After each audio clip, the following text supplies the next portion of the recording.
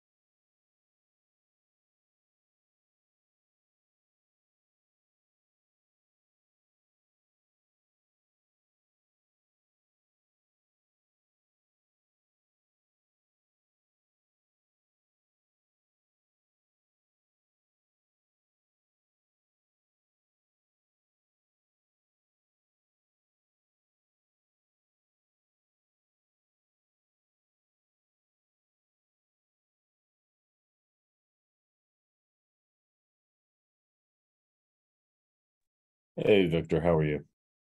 Oh, you've got that? Okay, Trizzy. All right. Uh, welcome everybody to the September 22nd Hyperledger Technical Steering Committee call. Um, welcome to the new participants. As uh, some of us are aware, but not maybe not all of us, two things that we have to abide by on this call. The first is the antitrust policy notice, which is currently displayed on the screen. Um, basically, uh, be sure to conduct your activities in accordance with applicable antitrust and competition laws. If you have any questions, uh, contact uh, your company counsel or uh, the Linux Foundation's counsel, which is Gesmer Updegrove. Um, so with that, the other thing that we have to um, abide by is the code of conduct. Uh, the code of conduct is linked in our agenda. Basically, um, treat everybody fairly and nicely. Um, so with that, two announcements that we have. The first one, standard one, Dev Weekly Developer Newsletter goes out each Friday. If you have anything that you would like to include in that newsletter, please leave a link on the wiki page that is linked in our agenda. Uh, the second announcement is just an update on the TSC to TOC charter um, changes. They are currently being reviewed for final comments from the governing board and we are expecting a vote the week of October 3rd on that, uh, on those amendments. Any other announcements that anybody would like to make?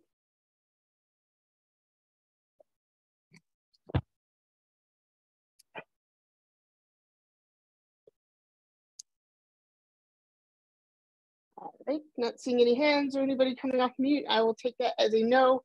So we do have a number of quarterly reports. Um, I did include all of the ones that were submitted prior to the global forum, uh, just to make sure that we all had had a chance to look at that. It looks like uh, in most cases, we're down to four uh, TSC members that are still outstanding on reviewing those particular uh, reports. I guess the question is, any questions, anything that we should bring up on any of these reports in the TSC call?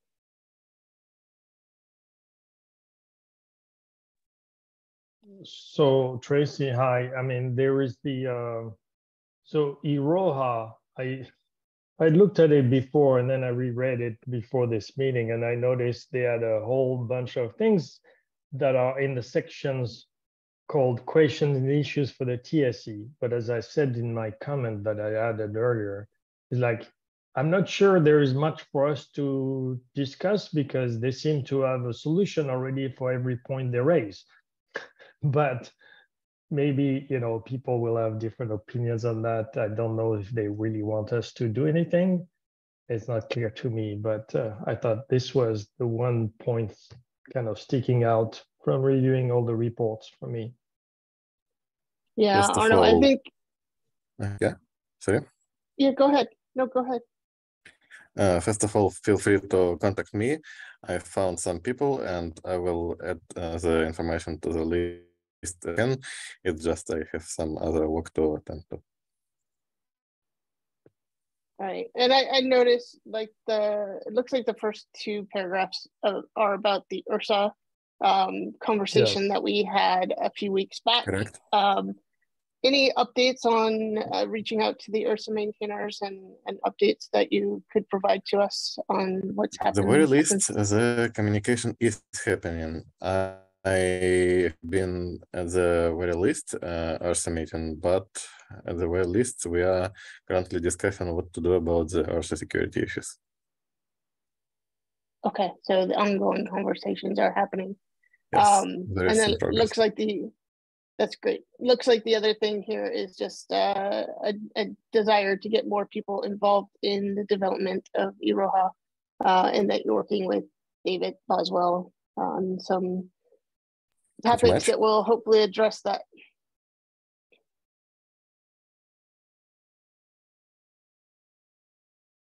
Okay, uh, any other comments on any of the project reports that are available? That anybody wants to bring up in the TSC file?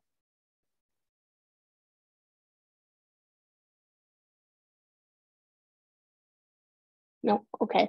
I did see that the caliper one um, seems to be available. Um, however, my task was marked as complete. Um, so just check that one uh, that came in that was due today uh, for next week. We'll make sure to include that next week. Uh, and we'll look forward to the other reports, Firefly, Ursa, Besu coming in as well. One Arnaud? more thing, uh, uh, Tracy, I'm sorry, I was looking for the, the right one. It's the grid one.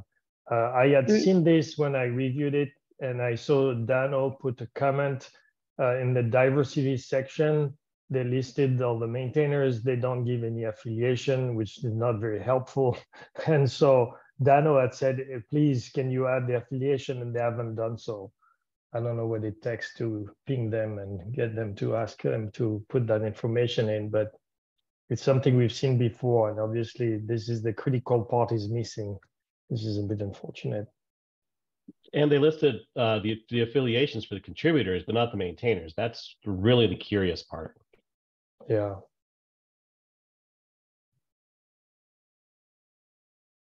It'd Okay, be one thing if they um, just didn't list it at all, but Yeah, that's Well, true. I'm happy. I'm happy to reach out on the grid, uh, on the grid Discord channel, just with a link to this. I think there's a way to grab the link for this uh, comment and ask them to provide some updates on that. And they put the GitHub IDs, which is nice, but it would be nicer if there were links. So maybe we could figure out the answer ourselves quickly. But having to copy paste the, the GitHub ID to go to the URL every for every one of them is a bit of a pain. Even though it's possible, I didn't feel like doing it. I have to say, I was like, oh, All right, I'll make because the GitHub to. profile might have the information. For that matter, the affiliation might be there, but it's not easily, you know, available. So. Very, very possibly, yes. Um, so I'll make sure to send a, a message to the grid maintainers um, Thanks. on the list and see what we can come up with uh, about that. So, um, anything else then that we should bring up?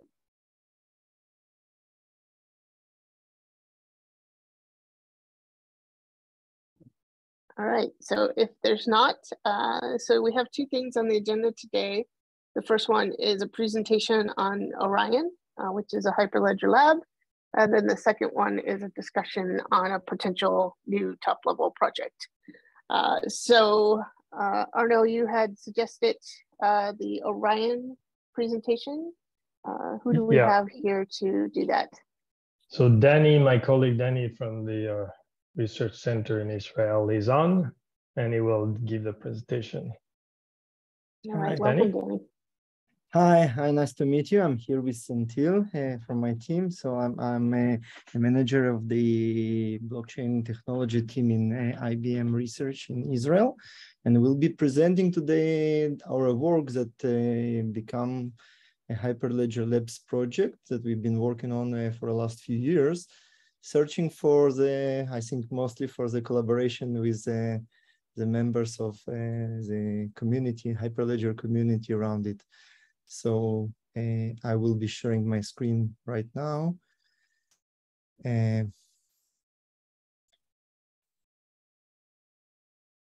I will enter presentation mode. Uh, can you see my screen? We can see it. Okay, perfect. So the, so the project name is uh, Orion, Hyperledger Orion, and it's in, in general, it's a centralized trust blockchain database, and I will explain in a bit more details for those who are not less familiar with the blockchain database. So uh, as I said, it's an open source project and it's uh, been uh, contributed and become a part of the Hyperledger Labs. Um, so a few words on the background of what and why we are doing that. So first of all, uh, we all, and I believe all of you that on this call, understand that trust is one of the critical issues to the success of many business ecosystems. There are a variety of uh, research in that space indicating that improving trust uh, can play a critical role in success of many business ecosystem. However, uh, what we have learned over time, and I will show later on, not only us learned over time, that uh, trust is a very complex aspect and uh, there are many ways that technology can help to address uh, the trust issues, but we should take into account different uh, intrinsic level of trust that exist in the business ecosystem today and also the topology of this ecosystem. And we should be able to feed the proper technology for proper use because as we learned over the past, using improper technology or pushing more complicated uh, technology where it's not necessarily needed uh, actually uh, creates uh, challenges for its adoption. And rather than moving into the right direction and improving trust, people saying that, oh, it's too complicated, we will not go, we will not use it.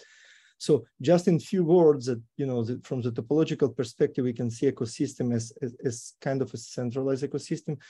Should, eh, these are the ecosystem where there is at least one or more highly trusted parties. Again, not blindly trusted parties, but highly trusted parties.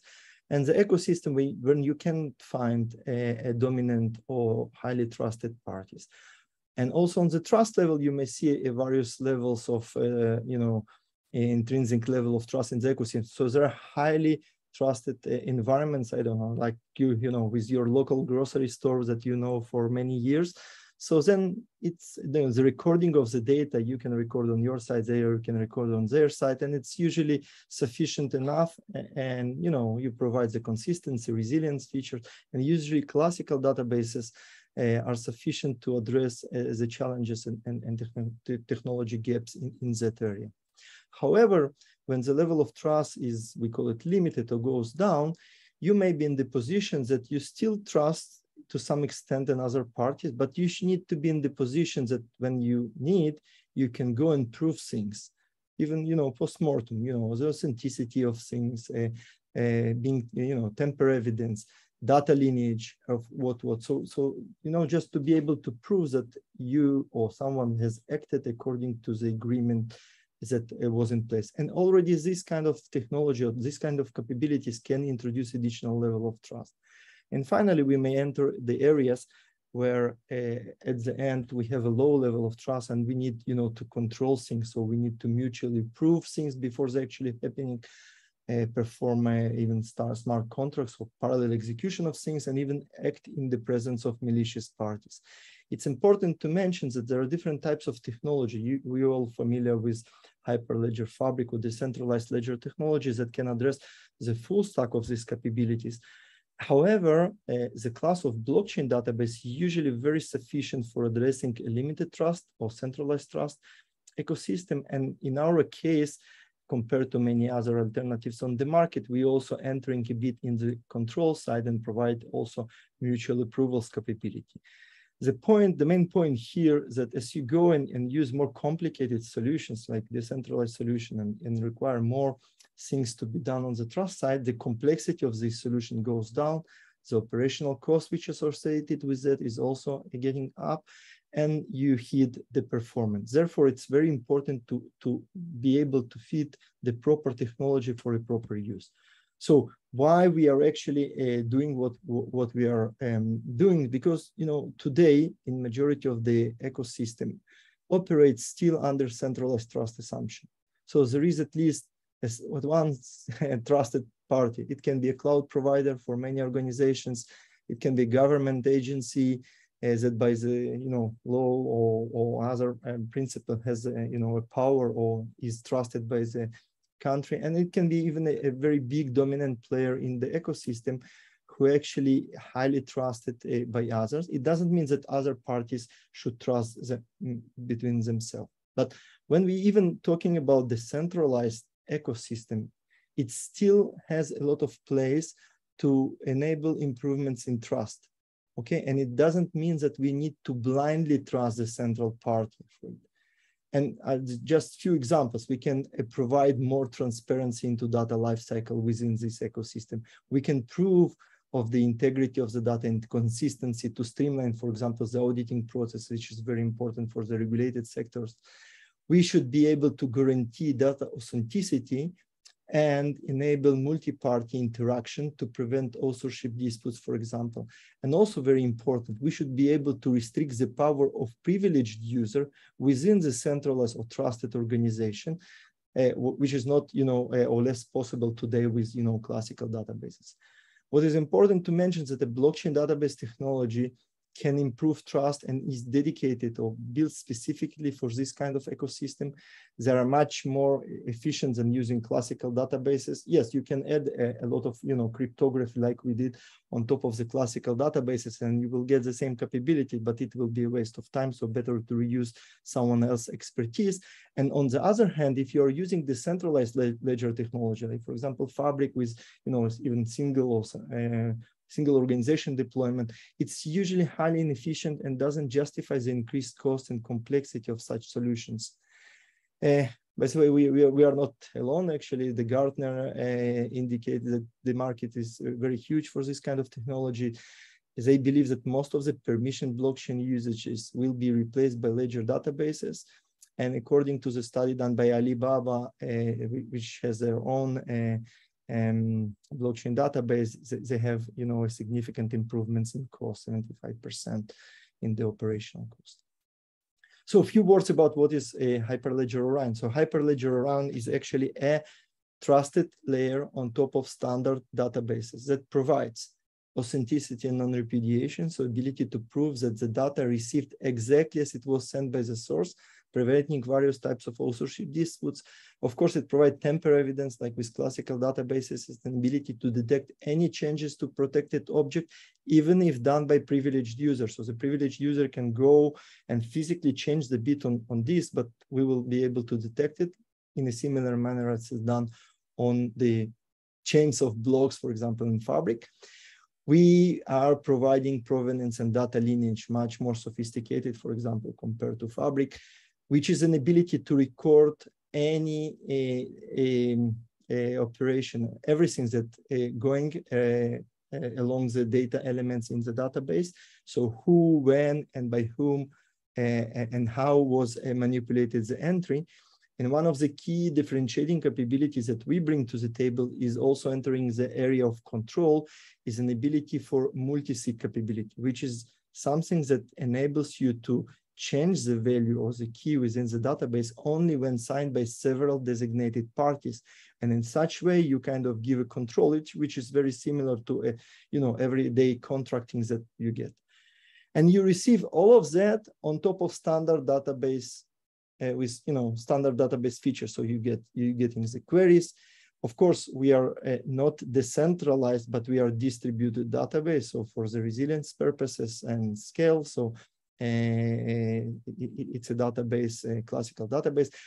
we support standard data model. So in order to operate and work with Orion, you can take every, you know, kind of backend developer uh, who know how to work with a JSON store, CouchDB, Mongo, whatever, and they can immediately start working. There is no need to learn additional uh, kind of programming models which uh, you know you need don't have to deploy we don't have chain code of things that you need to deploy specifically. And of course we support uh, transactional apis directly. So providing uh, you know in, enabling you know to perform a set of read write operations as an atomic transaction preserving the integrity of the database. So just to summarize uh, you get most of the blockchain features, yes, you still need in some way to trust a central party to some extent. Yes, they, for example, central party can remove all the data, destroy it. But you know, even today, when you know majority of us operate on the, some cloud provider and so on, yes, in theory, the cloud provider can remove all your resources from the system. They can destroy all, all, of your data, and they can, in theory, even block some of the communication coming from your clients to your services if they decide to do so. But we usually trust them not to do so.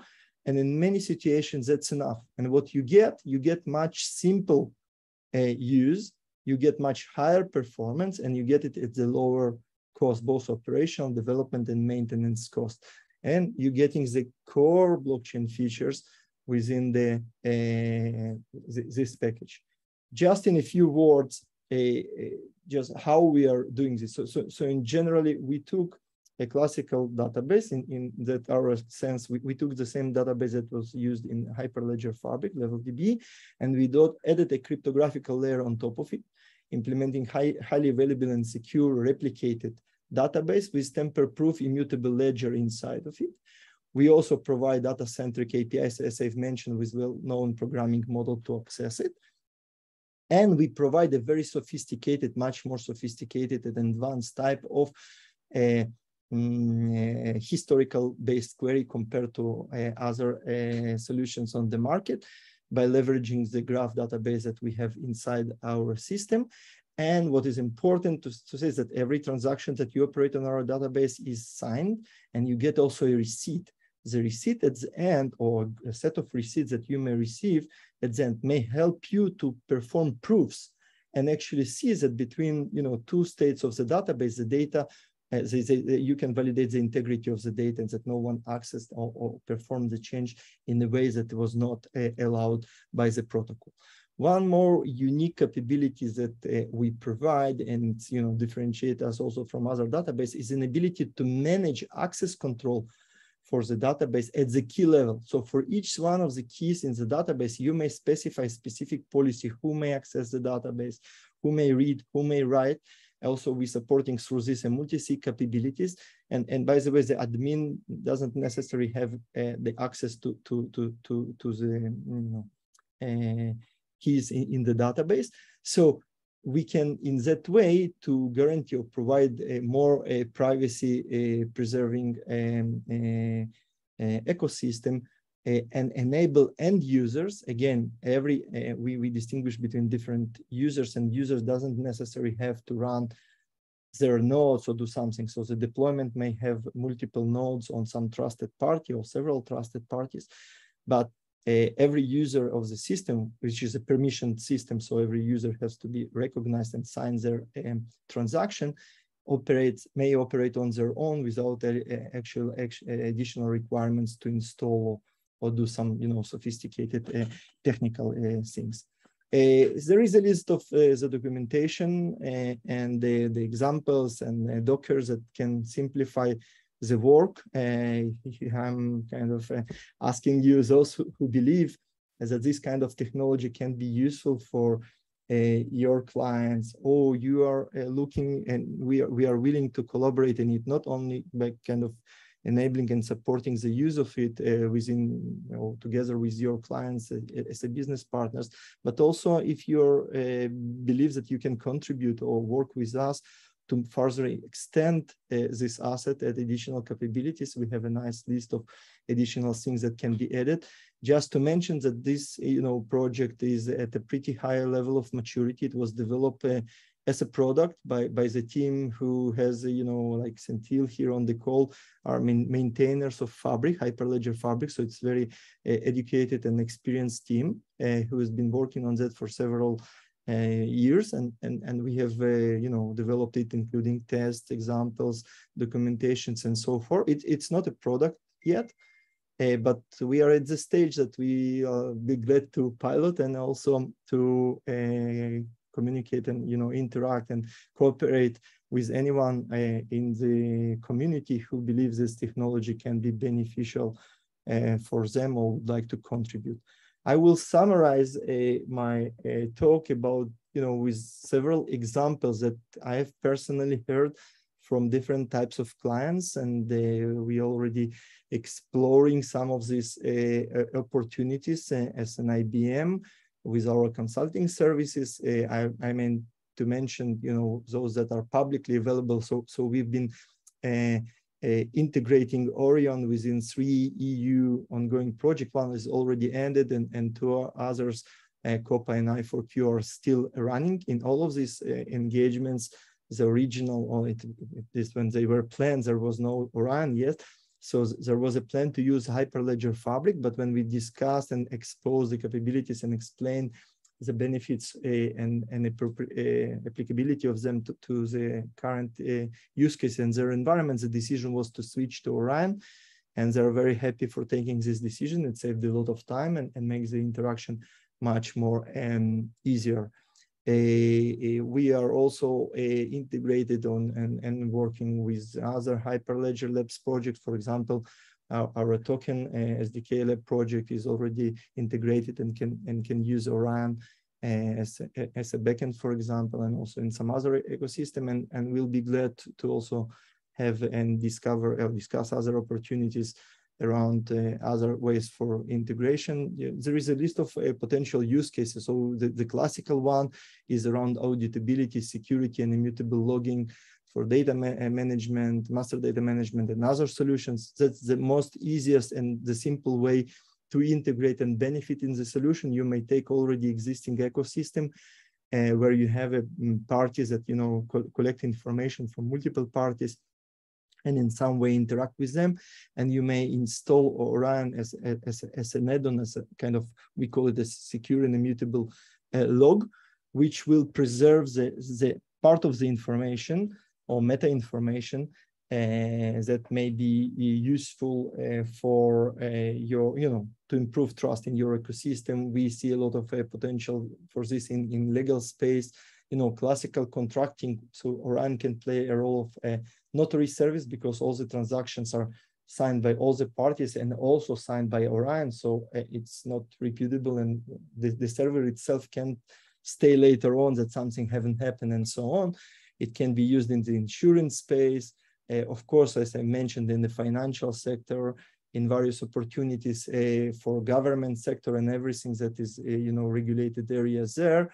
Um, healthcare proof of vaccination, credentialing, and so on, definitely for various uh, scenarios in supply chain. And even as I said, in the entertainment domain, and we are doing one of the our project in uh, Copa Europe is around, uh, you know, media tokenization, reputation management, and, and so on. So uh, this is uh, ongoing activities and same for smart manufacturing that we are doing with I4Q project. So I, I will pause here to hear if you have any questions or anything that you would like to raise and discuss. And of course, uh, for those who uh, would express some more, you know, interest and for more detailed discussion, we'll be glad to schedule follow-ups call. We did give several Hyperledger talks uh, in, in different geographies. And we plan to have few more um, in the upcoming months in the North America, maybe in in Asia as well, and, and so on. And so I'll, I'll, I'll pause here to hear some feedback and recommendations and input from your side that can help us to, to promote this technology and work together. All right, thanks, Danny. Jim?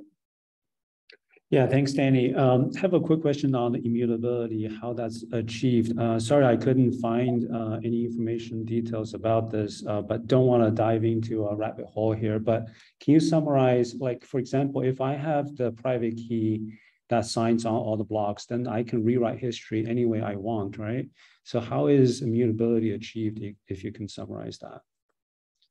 So, so, so, so, so uh, in general, when you, you know, you have multiple users, so I'm, I'm in, internally inside the database, we have an immutable log, okay? So in theory, yes, if you rewrite this log, then you, and every transactions that you're doing with our system, you get a receipt. So rewriting the log will kind of violate the receipts that I will, you know, th that you will have on your site. It's like, you know, take for example the, the classical, you know, sh shopping experience, right? So you you went to the shop and you bought something and you get a receipt. Now, from the shop perspective, they can rewrite your books and say you never buy it or, or do what whatever they want, right? In theory, but you have uh, some kind of a proof signed by the server. So using his private key, uh, that you know this transaction did happen and the transaction and the receipt include information about the blocks that were signed. So again it, it may be a bit more explanation may, may take you a bit more you know, detail but uh, and we can of course take it uh, you know for a dedicated okay. yeah i think i understand. It, it's basically if if if we ever get into a uh, dispute situation it's it's a one-to-one um, uh, dispute. I have a receipt, you have a receipt. We have to prove who has the original receipt, right? It's not necessarily that, that simple. Again, it may be multiple uh, participants in the signing. So you may have multiple receipts and you may have also several receipts from your side. So you, you may have kind of an anchor state of the block and then you have another receipt. And we as a database provide a set of proofs or capabilities that enable you to prove you know that the current state or the, the receipts that we have gave you actually was derived from the another mm-hmm. state that you already have in, in, okay. yeah so, yeah i think i understand the underlying mechanism. Thanks danny. But if needed you know more detailed discussions and of, of course we we can uh, you know zoom in and, and have more detailed view. Of course, it's an it's an open source. You can also go and try. You may see how our proofs works. So we provide a mechanism for you that will simplify and, and you, you can prove that something really, you know, the, the current state is, is a valid state. Okay, uh, so, so, so that I think uh, in general, the answer. All right, uh, thanks for that, Danny. Uh, so I have a, a, comment. It's not a question. Uh, it's on the naming uh, which is incorrect, right? Uh, so on this page, you actually say Hyperledger Orion. We need to change this so it says Orion, a Hyperledger lab, which is uh, the agreement that was uh, had when we originally proposed labs as a concept within the Hyperledger Foundation. So it, it's it's just to make sure that there's no confusion between uh, top level projects and projects that are currently in the labs area. So um, you know, just okay. make sure that you update your documentation to reflect that. Okay, points taken. I, I hope one day uh, this record will be. but uh, yes, yes, I mean very possibly, uh, and and we may end up having to talk about naming. I saw in the chat uh, that Danno said that there may be some confusion with the naming, uh, with some of the the privacy uh, aspects that Hyperledger Besu had originally, uh, where their privacy manager was called Orion. So um, as and when we decide that this becomes a top level project, um, you know, we may need to discuss whether Orion stays or it becomes something else yeah yeah so so so so absolutely again uh, we, we it was the, the names that we brought just you know trying to, to separate and differentiate from any existing. Probably you know it's a you know a common name maybe some collisions exist. It's no problem. We can definitely re, re, rename or change it as needed. For this at, at this current stage my uh, primary ask would be to to see. So so i know that this uh, kind of niche in hyperledger around blockchain database is is is an open area I believe there is a huge potential there. So I'm just kind of asking anyone who believes that this kind of technology can be beneficial for them as well to work together on that. So first of all, let's let's enhance the community. We already have some interest from our EU colleagues. Uh, uh, you know, participating in the project, and we're trying to build people who are kind of contributors to that. But uh, I will, you know, highly, we will highly appreciate if there would be any Hyperledger uh, members who decide or believe that this kind of technology can be, you know, uh, leveraged by them, and we can all together contribute to the success of, of this uh, open source project. All right, great. Uh, so last question on this goes to Hart. Uh, so we need to obviously close this topic so we can get to the second topic that we do have on our agenda. So Hart, uh, if we could quickly go through your comment question. Sure, I just had a quick question. Um, thank you for the nice presentation. Uh, do you have any kind of paper or anything on the security model of this? I think it would be really interesting to compare to a blockchain in terms of what are the exact properties you get.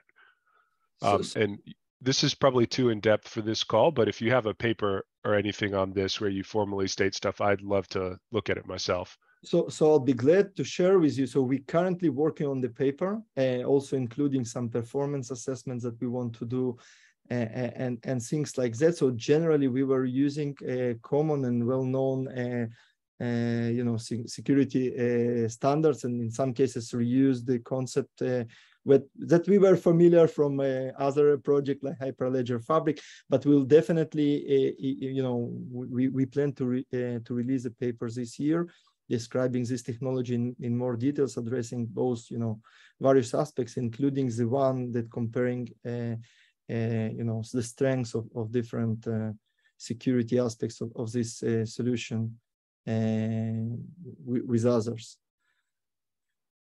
Okay, thank All right. you. Well, thank you.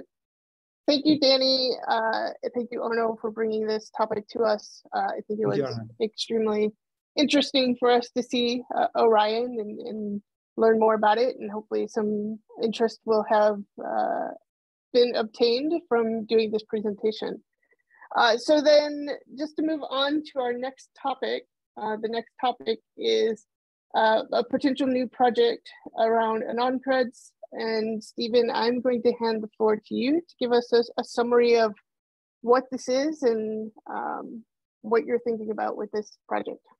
Okay. Um, I, do you mind if I share my screen? Please. I just did a quick presentation for this. Um, you can see that. Yep, we can see it. Awesome. Okay. Um, this was Hyperledger in the beginning. Um, basically, you had the blockchain ledger at the bottom. You had the capability to construct a um, a credential. Um, it could be given to a holder. Uh, whoops, a verifier could request a presentation and the holder can construct a proof based on the verifiable credential they had or multiple verifiable credentials they had, um, construct that proof, give it to the verifier, and the verifier could verify the proof. So um, Hyperledger Indy sort of encapsulated all of that. Over time, it evolved. Um, Ursa separated out the cryptography that was involved in that. Some of the um, uh, um, ledger cryptography, the, the cryptography around the AnonCreds, the signing of the credential and so on. So that was put into Ursa. Um, Aries was started not so much to replace um, components of Indy, but rather to um, enable the interactions between the parties, between the issuer and the holder, between the holder and the verifier. Um, that really wasn't handled by Indy. It sort of said, "Oh, we've got these things now; they have to be be shared." And so Aries adds the messaging. Um, Aries' goal is to be agnostic to the ledger that's being used and agnostic to the verifiable credential format. Um, it embeds Indy and Ursa, and it did have an impact on Indy in that the um, Indy included a um, secure storage element for each of the parties, the issuer and the holder and the verifier. And so that moved from Indy to Aries. Um, you could actually get it from either place right now, but um, it, it makes more sense in Aries, but that's how it's evolved. So what that leaves is um, Indy is a ledger that allows you to store DIDs and other objects on a ledger. Um, the issuer writes those um, during a setup phase. They write a bunch of objects. Um, and then AnonCreds is the actual, the rest of the handling. So during issue, the holder and issuer um, work back and forth um, using messaging to um, enable the creation of a credential, and then the issuer creates, signs the credential, and gives it to the holder. Um, the AnonCreds part in presentation is the verifier requests a presentation. Uh, the holder constructs it using the um, credentials it has, possibly with revocation, and then passes it over to the verifier for verification. And then the last part of AnonCreds is revocation. And so what we're proposing is to take more or less these things out of Indy, put them into a top level project and, and make it so that AnonCreds can talk to a number of ledgers, Indy being one of them, of course, and, and for quite a while will be the best one to use, but other ones can be used and um, and and uh, enable um, AnonCreds to be used on a, on a fabric network where all of the objects are stored on fabric, um, on a Ethereum chain, um, and, and various others. So the point is to extract out the components of AnonCred, make it so that there's a uh, ledger agnostic API sort of below uh, AnonCreds and allow um, and allow uh, methods to be implemented that um, can use any sort of ledger. Um, why do this? Um, AnonCreds is the crucial component of, of the work of Indy. I think it is the, the core component, the privacy preserving ZKP technology that is part of Indy. Um, I've got a list of the features in there. Um, hopefully, I, I won't go through them unless people want me to, so I can we can get to the discussion. But these are really important features that are not available in other verifiable credential uh, formats and, and capabilities. Um, AnonCreds is, is a mature and it's a de facto standard uh, for authentic data processing and protocols. So interactions between the issuer holder and the holder verifier and um, and and and really standard um, processing rules and, and capabilities. So we want to take that and, and pull it out.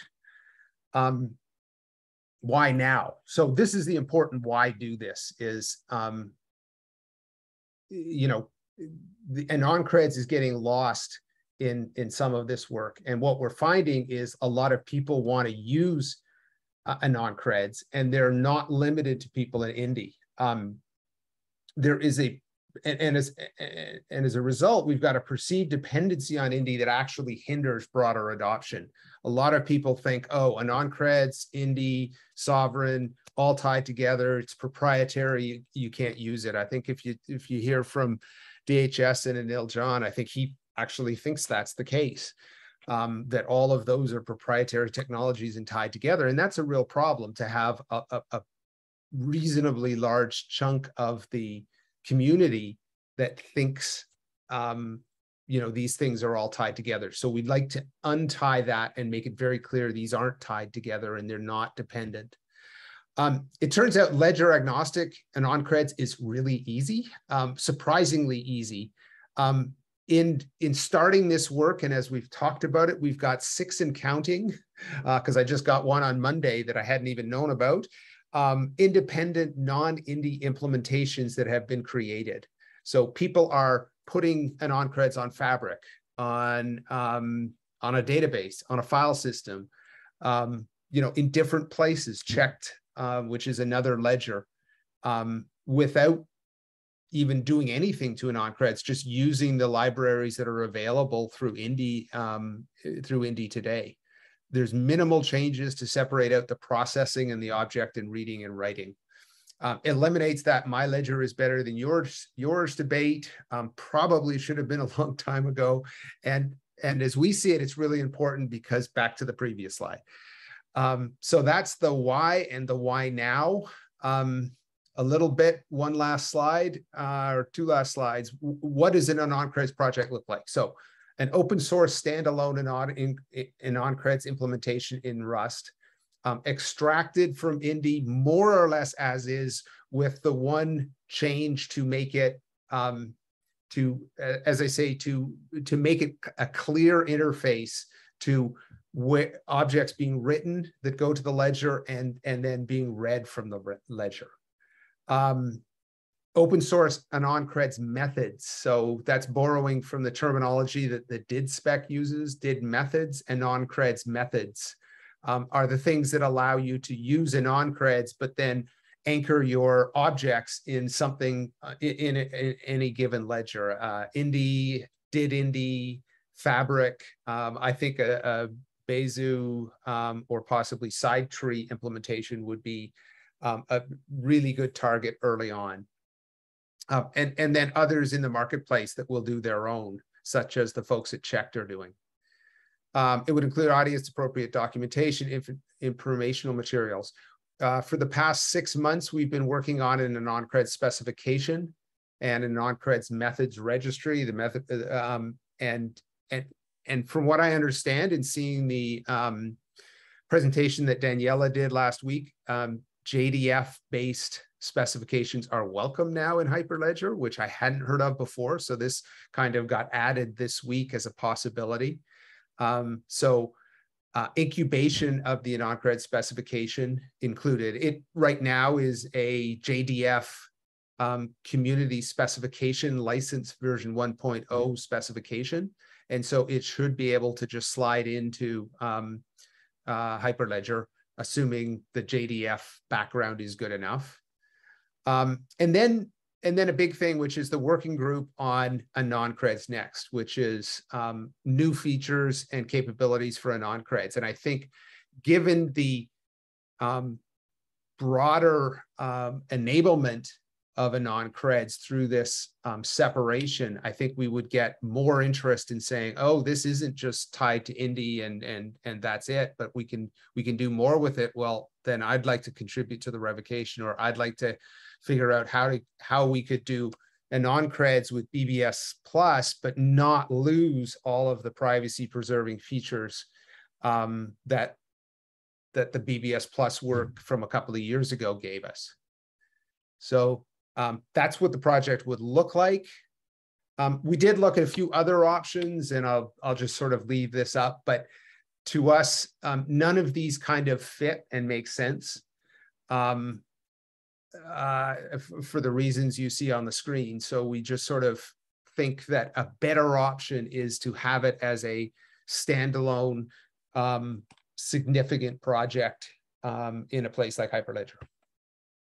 That's it. Hopefully that. All right. Thanks, Stephen. I, I think you did uh, definitely have some people with some questions here. So come let's hear first on the list. Yeah. Hi. So hi, Stephen. I think in terms of like uh, ledger dependency for uh, verifiable credential is really hindering that. That is correct because there are many customers who want to implement the verifiable credential. They need to stick to the Indy ledger, and but they are only using some other ledgers in their projects. So, point is like last year, uh, one of the mentorship program I uh, executed one of the main project in the mentorship program for mm -hmm. using the Fabric and Aries integration and I think my mentee is able to do uh, use a Fabric Ledger to record all the verifiable credential schema and everything on the Fabric Ledger. So, yeah.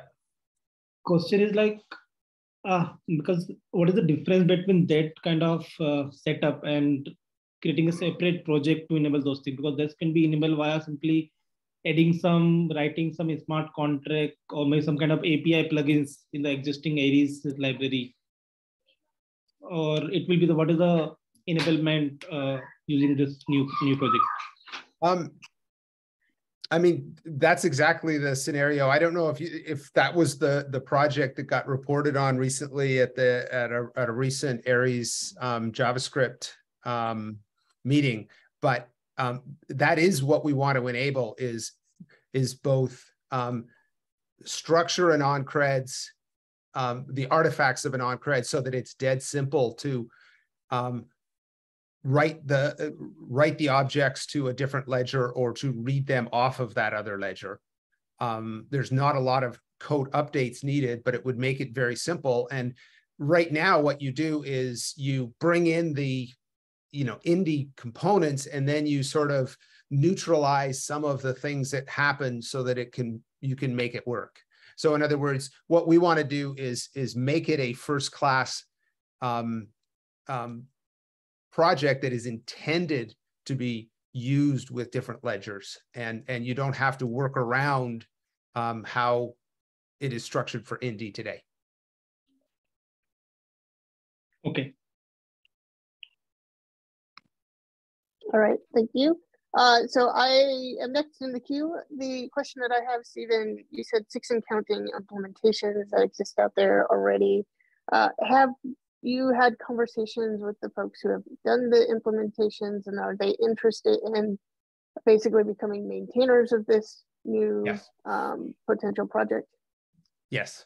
Um, so um, that is basically as we've done the the um, you know the specification, and then we started talking about ledger agnostic, and and people that's when people started coming forward say, yeah, yeah, we did that. Um, all are interested in in exactly this. Um, they don't plan on using. This is why they sort of independently decided. Well, let me see if I can just use this independent, you know, separately. So I get the privacy preserving capabilities, but I I'm, I'm not tied to Indy, and that's why they were doing this. They're very interested in um, being able to do that and support it in a number of places.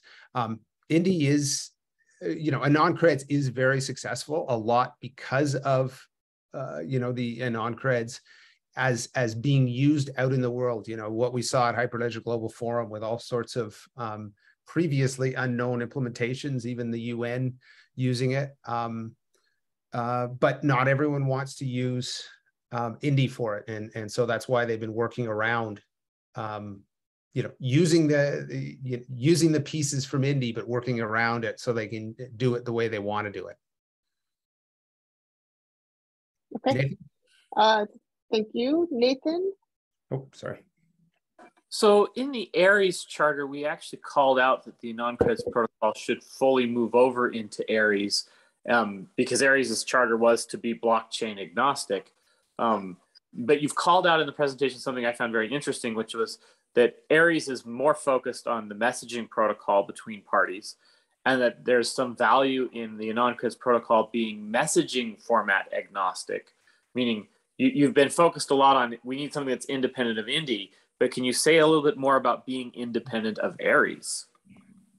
Um, that's a that's a good question. Uh, I, I I don't have uh, skin in the game to make it independent of Aries, but I know there are all sorts of other places that are are being used.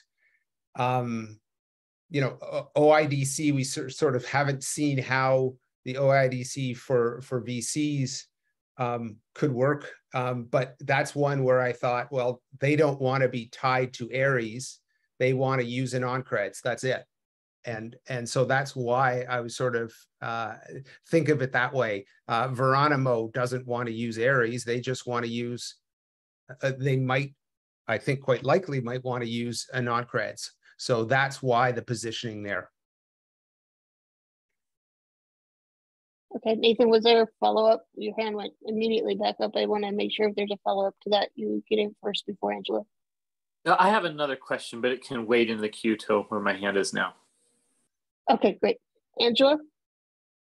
Yeah, thank you, Tracy. First of all, I want to say that I like this initiative and especially, um, of course, I understand there are many details that needs to be sorted out, but especially if this means that uh, this entire ecosystem can be uh, brought to Fabric and Besu so that this technology can be also fully on uh, on these other blockchains. On uh, that, that to me, it's uh, this message is it's, it's very uh, it's very strong. So I, I really hope this this happens. And for Fabric at two levels, directly inside as an MSP or on top of Fabric. That would be great. Uh, great support from my side. Thank you. Awesome. All right, thanks, Angelo. Nathan?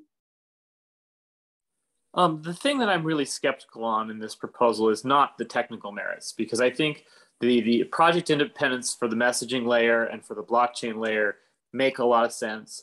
The thing that makes me really nervous is do we have enough maintainers to support additional project overhead because we could probably recompose the project with less top level project names and it would mean less project reports and less github repository maintenance overall um, so the thing I'm really looking for when this gets to a project proposal is who's signed on to actually show up and do the work. Um, because if if we're increasing our surface area without increasing the number of, of solid contributors, um, we run a lot of the same risks that we've been having on the Ursa side, where a lot of people are interested, but not a lot of people are actually shoveling code. Uh, I, I think without doing this, you risk because of the hindrance of adoption of this, because of uh, the, the perceived tie with with Indy, that you risk going the other way if you don't do this. All right. Uh, Nathan, that was definitely a concern of mine as well. So, um, you know, we'll, we'll, keep an eye on that. Troy? Uh, yeah, I think I have one question and maybe one kind of point to raise. So the question is, I, I think you mentioned spec efforts. Um, and I was curious if you're talking about now having um, a spec effort inside Hyperledger or the actual AnonCred spec is being done elsewhere and uh, uh, this new project would just be an implementation of that. So that's kind of the question.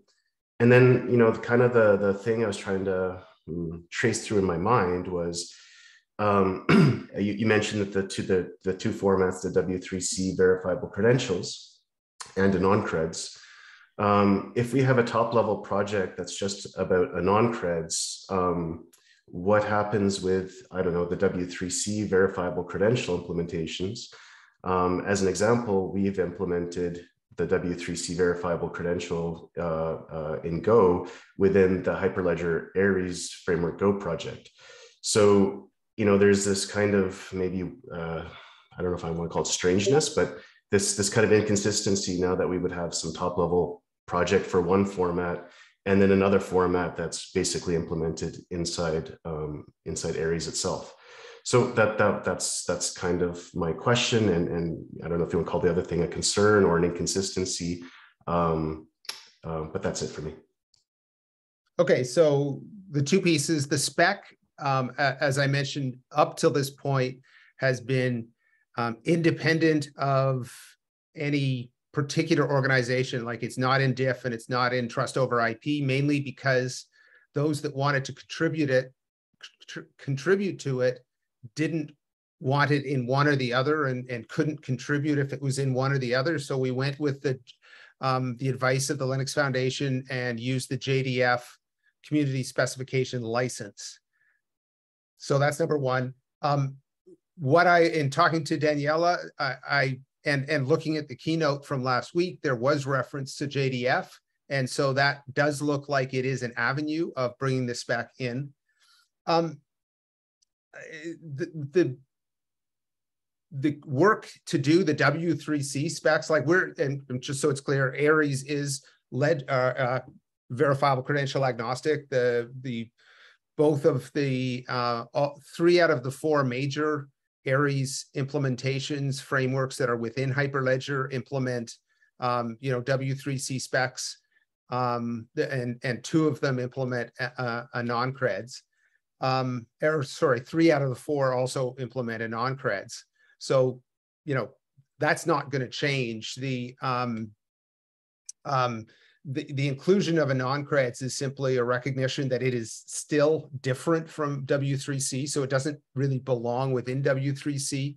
Um, and yet it is an important technology and it is the only, as far as I know, the only, you know, if you will, mainstream um, capability of, of zero knowledge proof um, verifiable credentials, which um, according to Gartner is still on the rising um, hype cycle. Um, so it, I think it will be seen as a things that people are very interested in learning about, making use of, and if we can do it cleanly, we don't have to um, force them to. By the way, you've got to shift your blockchain and your, you know, all of that um, to be able to use it, but rather you could just use AnonCreds. Um, I think that's a, a powerful message. All right, so I know we're over time here. Uh, Troy, I see your hand is up. I, I, think it would be worthwhile to continue this conversation. Uh, it sounds like there's still some more discussion to be had. um, before we decide that this is a project proposal we want to bring forward. So uh, I'm happy to have you guys do that offline or in uh, the TSC chat if that makes sense for this week. Um, and I'm going to close the call. Um, and and sorry, Troy, uh, for closing you off, but I, I do know other people have to get to their next meetings. Thank you. Thank you, Tracy.